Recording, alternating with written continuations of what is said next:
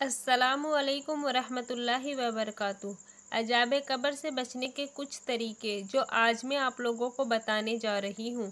सूर्य मुल्क की तिलावत सोने से पहले कीजिए। जो सूर्य मुल्क पढ़ लेता है, अल्लाह उसको अजाब कब्र से महफूज फरमाएँगे। ये सिफारिश करेगी और क़यामत के दिन जिद करेगी। उस वक्त तक जिद करती रहेगी सिफारिश की, जब तक के पढ़ने वाले को जन्नत में दाखिल ना कर दे। अजाब कब्र से बचने का अगला तरीका, इंसान सदका करे। सदका करने वाले के कब्रों को ठंडा कर दिया जाता है और क़यामत के दिन सदका ही साहिबान बन जाए। इसी तरह नमाज़, रोज़ा, जक़ात और लोगों से खैर खाही करना, ये चार अमाल भी इंसान को अजाब कब्र से महफूज करवा देती है। अजाब कब्र से बचने का एक अमल ये भी है, जो शख्स अल्लाह की राह में पहरा देता है, अल्लाह उसे अजाब कब्र से महफूज कर देते हैं।